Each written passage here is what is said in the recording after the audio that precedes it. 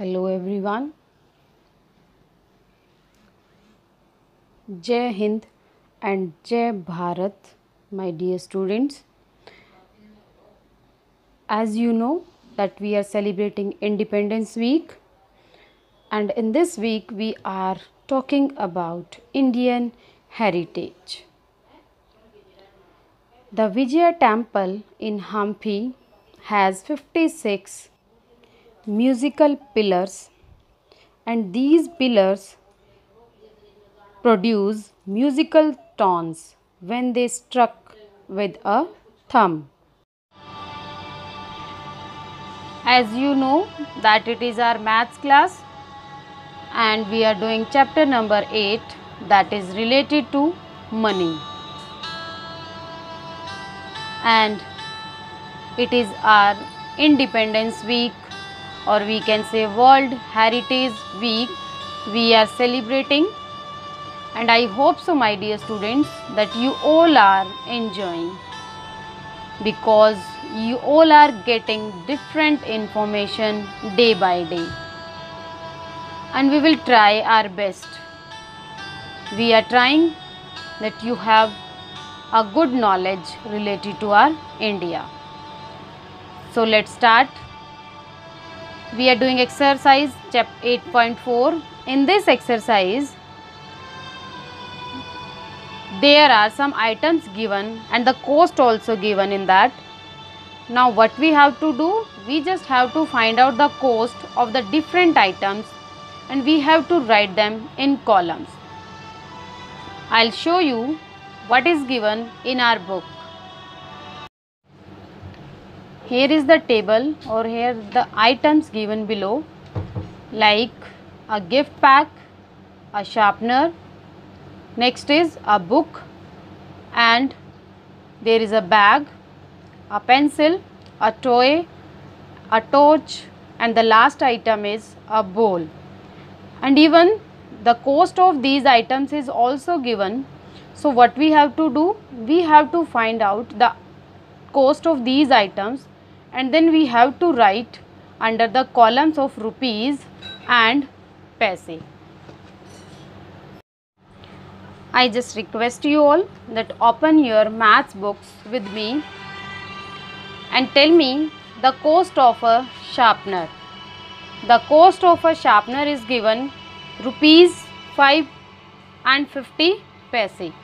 So we will write under the columns rupees and paise.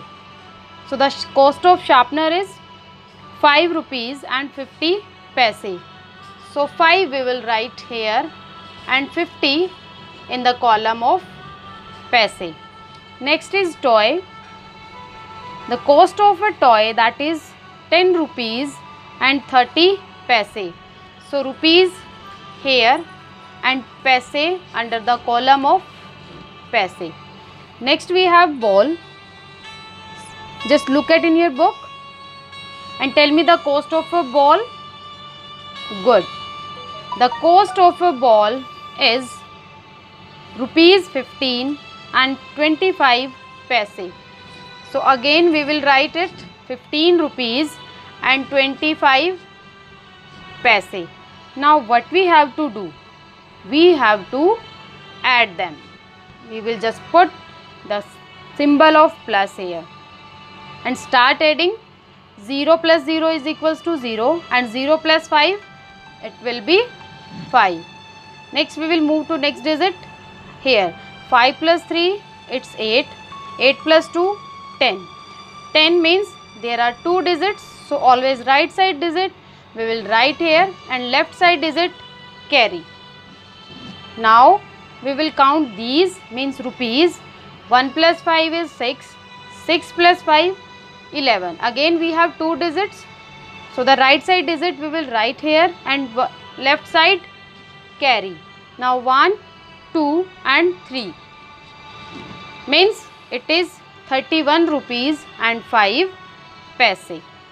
So in the same way you will solve all the sums in exercise 8.4. Our next exercise is 8.5 that is same. But the only difference is that in this exercise statement sums are given. And the statements are already made by them we just have to put the rupees and money uh, paise under the perfect column. So the first statement is money had 20, 72 rupees and 50 paise. And her father gave him 25 rupees and 25 paise. How much money does she have now? So money earlier she had he had money 72 rupees and 50 paise. And after this her father gave him 25 rupees and 25 paise. Means now she would he would have more money. So what we have to do we will add